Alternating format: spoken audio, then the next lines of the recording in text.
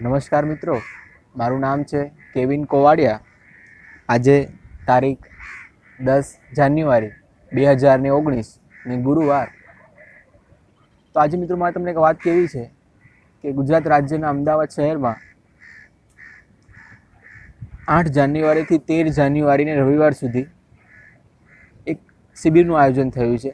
જે શિબિરમાં પ્રાકૃતિક ખેતી કઈ રીતે કરી શકાય અને કઈ રીતે આપણે પરિણામ મેળવી શકીએ એના ઉપર વાત થવાની છે. તો જે મુખ્ય વક્તા છે એ છે સુભાષ પાલેકરજી, જે મહારાષ્ટ્રથી આવ્યા છે. અને જે ઘણા વર્ષોથી પ્રાકૃતિક ખેતી ઉપર કામ કરી રહ્યા છે, લોકોને એના વિશે જગાડી રહ્યા છે. અને આજ સુધીમાં પચાસ લાખથી પણ વધારે ખેડૂતો એ સુભાષ પાલેકરની પ્રાકૃતિક ખેતીની પદ્ધતિથી ખેતી કરે છે અને ખૂબ સરસ પરિણામ મેળવે છે. ગઈકાલે જ્યારે મેં એમને સાંભળ્યા તો વાત કરી એમણે કે આપણે ન્યૂઝપેપરમાં વાંચતા હોઈએ છીએ કે ખેડૂતો આત્મહત્યા કરવી પડે છે. કારણ કે ધાર્યા પાક નથી આવતા. જે બિયારણ ને બધાનું રોકાણ કર્યું હોય એ પણ ઘણી પૂરું નથી પડતું, તો બહુ ખરાબ ફાઇનાન્શિયલ કન્ડિશનને લીધે ખેડૂતોએ આવું પગલું લેવું પડે છે. પણ એમને કીધું કે જે પચાસ લાખ ખેડૂતો આ પદ્ધતિથી ખેતી કરી રહ્યા છે, એમાંથી એક પણ ખેડૂતને આવો આ મોકો નથી આવ્યો આત્મહત્યા કરવાનો. તો આ પદ્ધતિમાં કંઈક એવું છે યુનિક છે, અને એને ઝીરો બજેટ ખેતી પણ કહે છે કે એવું નથી કે કંઈક કંઈક રોકાણ કરીને પછી એમાંથી મેળવવાનું. ઝીરો બજેટ ખેતી છે એટલે એમાં કોઈ ખર્ચો નથી.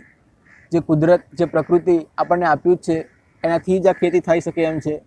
માત્ર આપણે એને જાણવાનો અને એનો અમલ કરવાની જ વાર છે.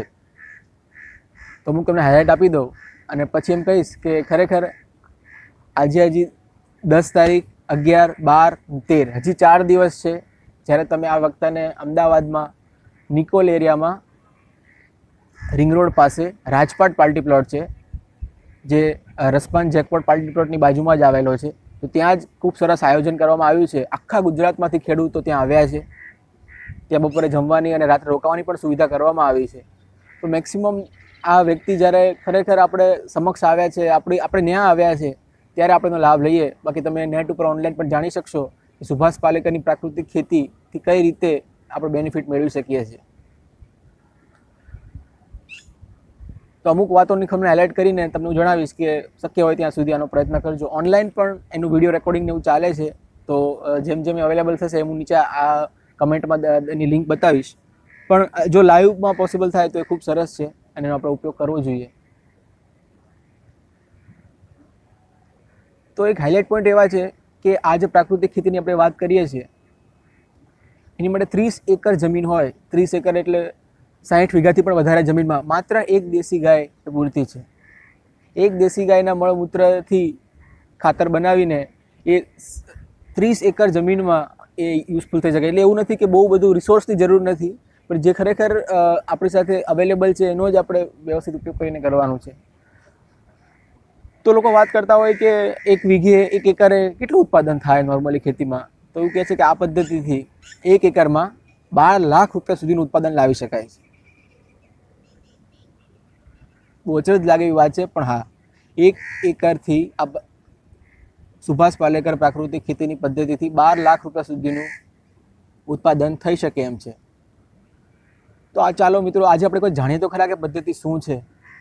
આપણે એનો ઇમ્પ્લિમેન્ટેશન પછી કરવું ના કરવું પછી વસ્તુ આપણે જાણીએ તો ખરા કે ખરેખર જ્યારે આજે આપણે ખેડૂતોના મોઢે સાંભળતા હોઈએ છીએ કે બહુ ખરાબ પરિસ્થિતિ છે.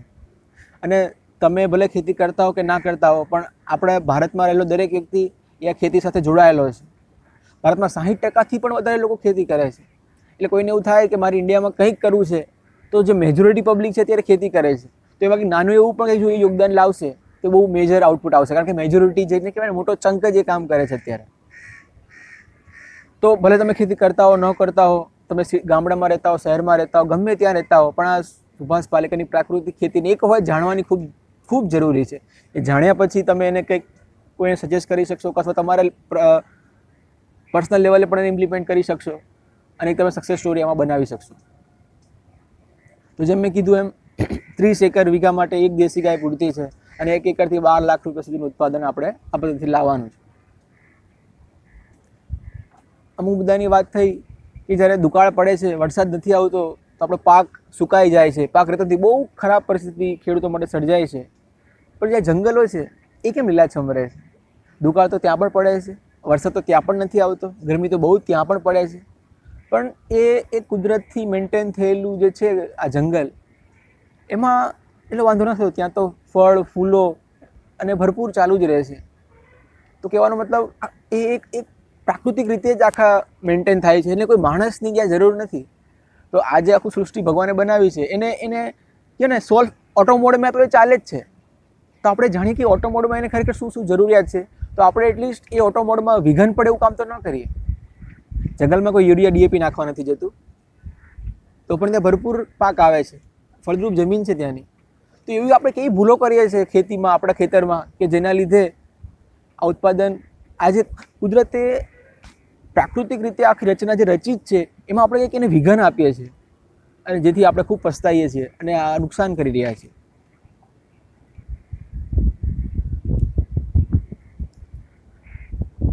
ખૂબ સરસ. તો હું તમને એટલી જ વાત કહીશ કે આ તમે અગર પોસિબલ નથી અમદાવાદ, ગુજરાતથી આખા લોકો આવ્યા છે, જો તમે અમદાવાદમાં આવીને આ શિબિરમાં ભાગ લઈ શકતા હો તો ખૂબ સરસ. અથવા ઓનલાઈન પણ સુભાષ પાલેકરની પ્રાકૃતિક ખેતી વિશે સર્ચ કરો, વધારે જાણો, લોકોને મળો અને લોકોને જાગૃત કરો. ખૂબ સરસ. જય ભારત. ઓ